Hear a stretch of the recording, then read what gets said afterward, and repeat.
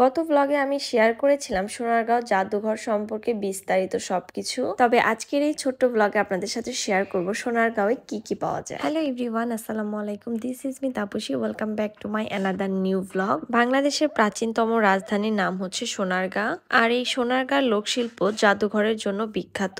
এখানকার উৎপত্তি মসলিন কাপড় এক সময় অনেক বেশি বিখ্যাত ছিল। সোনারগাঁও ঘোরা শেষ করে আপনারা যখন এই জায়গায় আসবেন, এখানে দেখতে পারবেন একদম পানাম সিটিতে যে সমস্ত জিনিসগুলো পাওয়া যায়, এখানেও প্রায় সেম জিনিসই পাওয়া যায়। এখানে কিন্তু অনেক কিছুই পাওয়া যায়। যেমন পানাম সিটিতে যে সমস্ত জিনিসগুলো রয়েছে, এখানে তার চাইতে বলতে গেলে একটু ভিন্ন ধরনের জিনিসও কিন্তু পাবেন। সেটার মধ্যে রয়েছে যেমন শাড়ি, বেতের তৈরি জিনিস। ডান সাইড থেকে এরকম সারি সারি অনেকগুলো দোকান পাবেন এবং লাস্ট পর্যায়ে আপনারা একদম যখন বাম সাইডে যাবেন, তখন দেখতে পারবেন হচ্ছে শাড়ির দোকান। এখানে জুয়েলারি থেকে শুরু করে কানের দুল, চুড়ি, মালা, এগুলো সব কাঠের তৈরি জিনিসগুলো পাওয়া যায়। এছাড়া নানান ধরনের ধরনের ব্যাগ রয়েছে।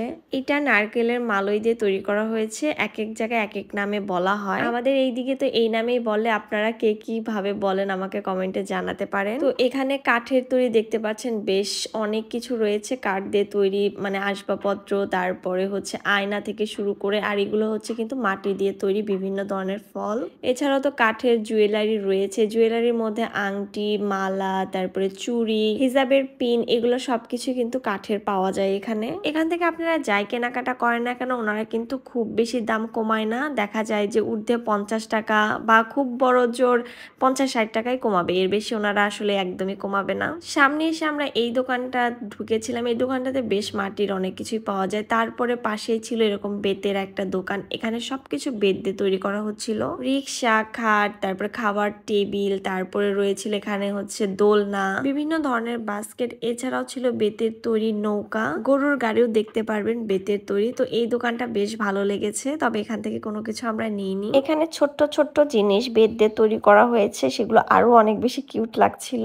এরপরে আপনারা সামনে গেলে চোখে পড়বে এরকম ড্রেসের দোকান। এখানে আপনারা প্রচুর থ্রি পিস পাবেন। ওনাদের এখানে সবকিছু কিন্তু তাঁতের তৈরি থ্রি পিস এখানে অন্য রকমের কোনো থ্রি পিস নেই। পাঁচশো টাকা থেকে শুরু তাদের থ্রি পিসের কালেকশন এছাড়াও কিন্তু জামদানি প্রিন্টেরও থ্রি পিস রয়েছে। আমরা যে থ্রি পিসটা দেখছিলাম এটার প্রাইস ছিল ছয়শো টাকা। তবে এগুলো শুধু ছয়শো না, হাজার বারোশো, পনেরোশো টাকার মধ্যেও কিন্তু আপনারা এই থ্রি পিসগুলো পেয়ে যাবেন। আর এখন যে থ্রি পিসটা দেখতেছি, এই থ্রি পিসের কালারটা অনেক বেশি সুন্দর ছিল। আর এটা হচ্ছে কিন্তু jamdani three piece jamdani three পিসের পাশাপাশি অনেক কালেকশন রয়েছে জামদানি শাড়ি। চার পাঁচটা দোকানই রয়েছে শুধু, সেখানে আপনারা জামদানি শাড়ি পেয়ে যাবেন। তবে আমরা ঘুরতে ঘুরতে এত বেশি ক্লান্ত হয়ে গিয়েছিলাম যে আর সবকিছু আপনাদের সাথে শেয়ার করতে পারিনি। তাই আপনারা যখন ঘুরতে যাবেন, সোনারগাঁও জাদুঘরের পাশাপাশি আপনারা কিন্তু এখান থেকে কেনাকাটাও করতে পারবেন পারলে ঘুরে যাবেন ভালো লাগবে। এখানে কেনাকাটার জিনিস থাকলেও খাবারের দোকানের সংখ্যা কিন্তু অনেক বেশি কম। সেই সকাল থেকে আমরা সন্ধ্যা পর্যন্ত বাহিরে ছিলাম বাসায় এসে সবাই গোসল করে বিকালের খাবারটা মানে দুপুরের খাবারটা আমরা বিকালে খেয়েছি।